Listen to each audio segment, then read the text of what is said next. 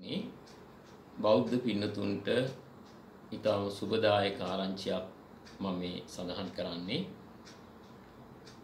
අන්තර්ජාලයේ Lanka news පිටුවේ තිබුණා පුරාවිද්‍යා අධ්‍යක්ෂක ජනරාල්තුමා අනුර මහාචාර්ය අනුර මනතුංග මහත්මයා. එතුමා කියලා තියෙනවා මේ හිරිවඩුන්නේ බුදුරජාණන් වහන්සේ බුද්ධත්වයට පත් වුණාය කියන මිත්‍යා කතාව වැරදි කතාව බුදුදහම් විනාශ කිරීමේ අරමුණෙන් ගොතන ලද්දක් බව. මින් ඉදිරියට එවැනි මිත්‍යා මත ප්‍රකාශ කරන්නට ඉඩ නොදෙන බවත් එතුමා සඳහන් කරලා තියෙනවා. ඒ ලිපිය අපි තව පොඩ්ඩකින් පෙන්නනවා. ඉතින් මේ නිසා පින්නතුන් පොඩ්ඩක් හිතන්න.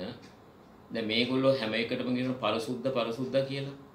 දැන් බැලුවහම බුදුගයා විහාරයේ පිළිබඳව ධර්මපාලතුමා මඩියේ මහානායක හාමුදුරුවෝ ඒ වගේම මාර්ටින් වික්‍රමසිංහ මහත්මයා ඒ වගේම සෙන්ඩත් පන්විතාන මහත්මයා මල්ලසේකර මහත්මයා මෑතකදී සුනිල් ආරියරත් මහත්මයා මේ කියන පිරිස විශාල විස්තරයක් කරලා තියෙනවා ඉන්දියා බුදුදහම පිළිබඳව. එතකොට මේගොල්ලෝ කොහොම ඔක්කොම මේ පරසුද්ධද ඈ?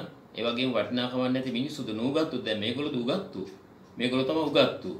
මොන මොන හරි ඉගෙනගෙන ඉංග්‍රීසි ටිකක් ඉගෙනගෙන මේගොල්ලෝ මේ අපිට කියලා දෙන ඉතිහාසය. ඒතකොට දැන් පාහෙන් වාර්තා ඔක්කොම වීසි කරන්න ඕන.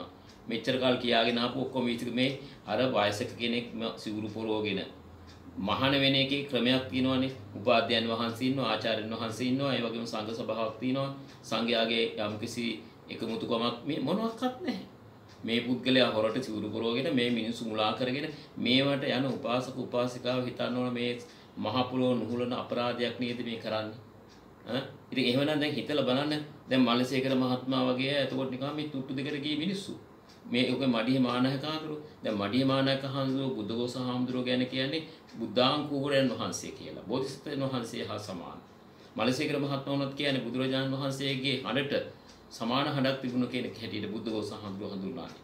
ඒ වගේ මහා පුදුම ගෞරවයක් තියෙන මේ නම් මේගොල්ලෝ මහා මේ බමුණා කියයි.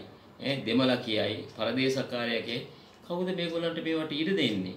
ඊටාම අවාසනාවන්තයි මේවට මේ යන හාමුදුරුවෝ කියන කොටස. ඒ මදිවට මහායානයක් අරගෙන තේරවාදී.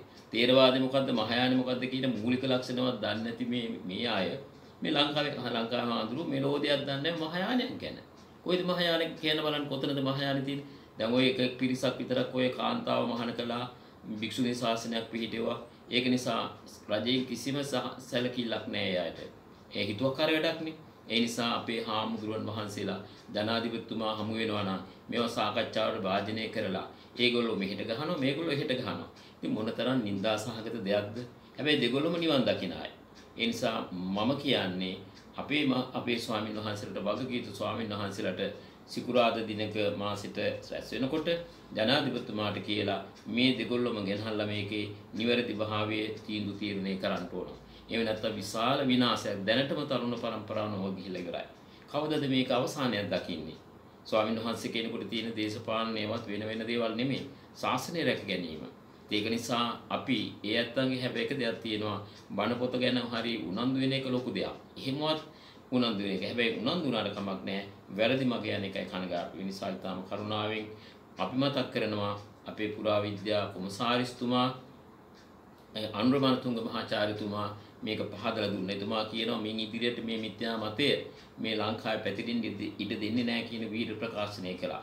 එතුමා ඇත්ත වශයෙන්ම සැබෑ අවංක ඒ වගේම බුදුසසුන ගැන හැඟීමක් තියෙන ශ්‍රේෂ්ඨ බෞද්ධයෙක්. ඉතින් මේ වගේ නිලධාරි මහතුරු ඉන්නවා නම් අපිට කොච්චර වැඩ කරන්න පුළුවන්. දැන් අද එහෙම නෙමෙයිනේ. දැන් බැලුවාම ඉහළ තැන තුරු ඉඳන් හැමෝම කරන්නේ තමන් ඇඟ බේර ගන්න හදනවා. ඒක නිසා ඊටාම කරුණාවෙන් දක්වන්නේ ඔය කියන මිත්‍යා මත පතුරවන ඒ පිරිසටත් ඒ ඇත්තු හිතන්නේ මේ අපි හාමුදුරුවන්ගේ වැරදි කියන. ඇයි හාමුදුරුවන්ගේ වැරදි කියන්නේ? දැන් එතකොට බලන්න පන්සල් 10ක් විතර වහලා කවුරුවත් නැහැ. ඒගොල්ලන්ට ඒගොල්ලන්ගේ පවුල් වල ළමයි මහාන කරනවාද? ඉතින් ඔච්චර හොඳ නැත්තම් තමන්ගේ පවුල් වල ළමයි මහාන කළ මේක සාසනෙ ගෙනියන්න. දැන් ඔය පන්සල් වහලා තියෙනවා මේ පාන්සුකුලේ දෙන්නවත් හාමුදුරු කෙනෙක් නැහැ.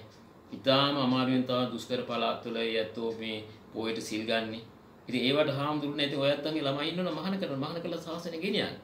මේ ඉන්න හාමුදුරුන්ට අපහාස කරන්නේ.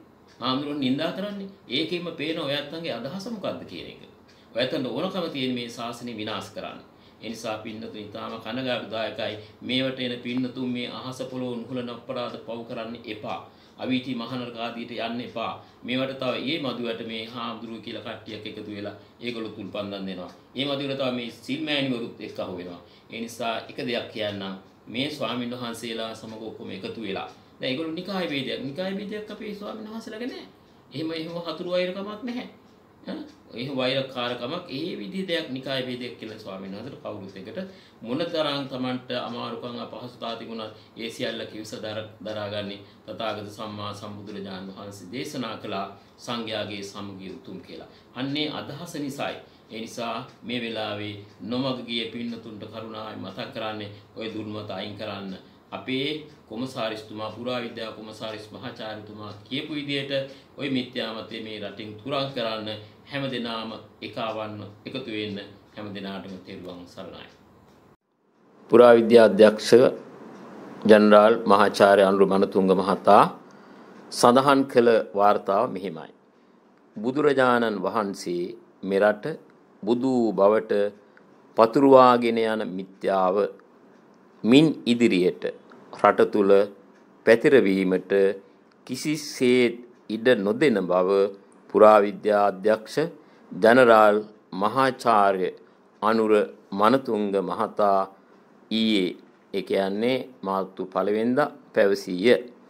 වසර ගණනාවක සිට දැඩි ආందోලනයකට තුඩු දුයි ඇති හබරන හිරිවඩුන්න ප්‍රදේශයේ බෝධීන් වහන්සේ සහ පුරාවිද්‍යා ස්ථානයේ පුරාවිද්‍යා කැණීම් කටයුතු ආරම්භ කිරීම සඳහා එක් වෙමින් අධ්‍යක්ෂ ජනරාල් මහාචාර්ය අනුර මනතුංග මහතා වැඩිදුරටත් කියා සිටියේ මේ වැරදි මතය බොහෝ දෙනෙකු නොපිළිගන්නා බවය.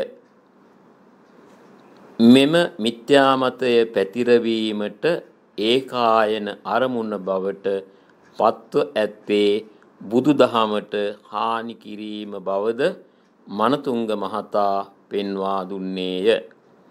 බුදුන් වහන්සේ බුද්ධත්වයට පත් වූයේ හබරන හිරිවඩුන්න මෙම බෝධීන් වහන්සේ අසල බව බොහෝ කණ්ඩායමක් මතයක් පතුරෝමින් ගිය බවද එම ස්ථානයේ තිබුණු මල් ආසනය බුදුරජාණන් වහන්සේ බුද්ධත්වයට පත් වූ වජ්‍රාසනය බවට ඇතමුන් සඳහන් කරන බවත් එම නිසා එම මල් ආසනය කැනීම් කටයුතු වලින් එළියට ලබාගෙන ඒ ජනතාවට පෙන්වා නැවතත් තිබූ විදියටම වසා දැමීමට අවශ්‍ය පියවර ගන්නා බවත් පුරාවිද්‍යා අධ්‍යක්ෂ ජනරාල්වරයා මෙහිදී පැවසීය. පසුව පුරාවිද්‍යා නිලධාරීන් මෙම විහාරස්ථානයේ වැඩ සිටින මහා සංඝයා වහන්සේලා සහ දායක සභාව ඉදිරියේ පුරාවිද්‍යා කැණීම් කටයුතු නිල වශයෙන් ආරම්භ කිරීමද පුරාවිද්‍යා අධ්‍යක්ෂක ජනරාල්වරයාගේ ප්‍රධානත්වයෙන් සිදු කෙරිනි. එමෙන්ම මෙම පුරාවිද්‍යා භූමියේ ඇති විවිධ ස්ථාන නිරීක්ෂණයට ලක් කිරීමද පුරාවිද්‍යා නිලධාරීන් විසින් සිදු කෙරිනි. මෙම අවස්ථාවේදී අදහස් දැක් වූ පුරාවිද්‍යා අධ්‍යක්ෂ ජනරාල් අනුර මනතුංග මහතා කියා සිටියේ තමන් මෙම ස්ථානයට පැමිණියේ මෙහි ඇති මිත්‍යා අදහස තවදුරටත් පැතිරවීම වලකා දැමීම සඳහා බවය. මෙම ස්ථානයේ ඇති වජ්‍රාසනය නමින් හඳුන්වන ස්ථානය කලින් ගලින් නිමවන ලද මල් ආසනයක් බවත් ඒ මහතා අවධාරණය කළේය. හිරිවඩුන්න ස්ථානය කිසිදු ආකාරයකින් බුදුරජාණන් වහන්සේ බුද්ධත්වයට පත් වූ ස්ථානයක් නොවන බව නිල වශයෙන් ජනතාවට දැනුම් දෙන බවද පුරාවිද්‍යා අධ්‍යක්ෂ ජනරාල්වරයා සඳහන් කළේය. දැන් ඉතින් ඒ නිසා දැන් ওই පරසුද්ද කීකේ බයිනවනේ. දැන් මේ අපේ පුරාවිද්‍යා අධ්‍යක්ෂ ජනරාල්තුමා සඳහන් කළේ. මෙතන බුදුුනේ නැහැ. මේක බොරුවක්, මල් ආසනයක්. ඒ නිසා එතුමාම සඳහන් කළානේ මේ මිත්‍යාමත පතුරවන අයට හොඳට අවවාදිකුත් කළා. ඒ නිසා දැන් කාටවත් චෝදනා කරන්න බෑ ඇඟිලි දික් කරන්න බෑ රජයේ නිලධාරියෙක් රජයේ ඉහළම නිලධාරිය පුරාවිද්‍යාව පිළිබඳ ඉහළම උසස්ම නිලයේ දරන ඇත්තා ඒ නිසා ඒ ඇත්ත කියන විදිහට ඒ උසස් තනතුරු දරන පුරාවිද්‍යාව පිළිබඳ ඊට එහා ප්‍රමාණත් ප්‍රාමාණික උගතෙක් නැහැ එනිසා තේරුම් ගන්න. දැන් ඉතින් කියයි පරසුද්දගේ අදහස් ගත්තයි කියලා. මේ නිකන් වාචාලකමට දොඩවන්න නැතුව මේව අහලා මිනිස්සු වෙන්න තෙරුවන් සරණයි.